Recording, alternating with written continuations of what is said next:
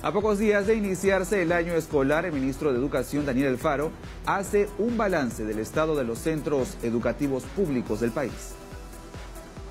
54.740 colegios públicos inician sus clases este lunes 11 de marzo. Son más de 6 millones de alumnos a nivel nacional. Pero tras las lluvias y huaicos en diversas regiones del país, ¿en qué situación se encuentra la infraestructura de estas escuelas? Hemos detectado 400 colegios con afectación de los cuales este, los números están bajando día a día. Los colegios que han sido afectados por las lluvias que han venido desde finales de enero, febrero, están siendo atendidos mientras hablamos. Aquellos colegios cuyas aulas han quedado inhabilitadas por esta lluvia, que es un número menor, eh, los alumnos de estos colegios están siendo también reubicados en otros colegios o se están viendo las formas de aplazar algunos días.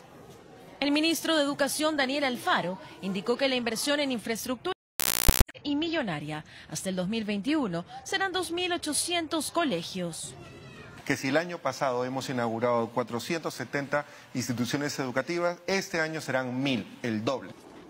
Anunció también que cumpliendo con la promesa del Ejecutivo de mejorar la carrera magisterial, este 2019 darán ascensos y capacitaciones y dos aumentos en los salarios de los maestros un incremento salarial este año que se va a dar en dos tramos. Un primer tramo que se está dando ahora en marzo, de 100 soles sobre el piso salarial, y otro que se va a dar en diciembre, de tal manera que al final del año el salario eh, crezca en 10%.